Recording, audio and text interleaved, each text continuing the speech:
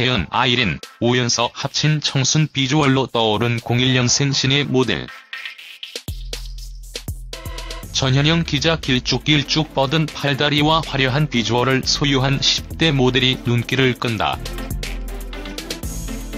최근 각종 온라인 커뮤니티와 SNS에는 소녀시대 태연, 레드벨벳 아이린, 배우 오연서 등 미모의 여자 연예인들을 닮았다는 모델 사진이 올라와 화제를 모았다.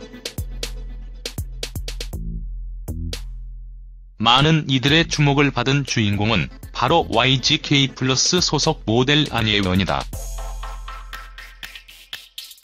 2001년생으로 아직 10대인 안예원은 유명 디자이너 컬렉션은 물론 각종 화보 등에서 활약하며 커리어를 쌓아가고 있다. 모델 안예원은 트로트 가수 안기범의 딸이기도 하다. 지난해 9월 안기범은 KBS1 아침마당에 출연해 딸의 비주얼을 자랑했다. 당시 안기범은 딸이 우리 집에서 가장 많이 번다며 미모는 물론 경제력까지 갖춘 딸에 대해 너스레를 떨었다. 안예원은 화보 속에서는 어린 나이답지 않은 강렬한 카리스마와 타고난 끼를 발휘해 독특한 분위기를 만들어낸다. 반면 일상 사진에서는 청순하고 귀여운 매력으로 시선을 사로잡는다.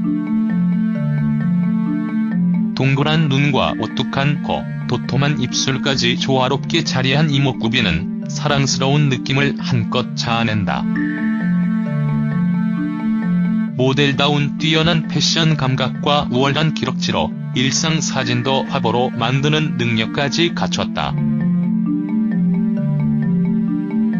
완벽한 비주얼과 피지컬로 찍는 사진마다 탄성이 나오게 하는 안예원의 일상 사진을 모아봤다.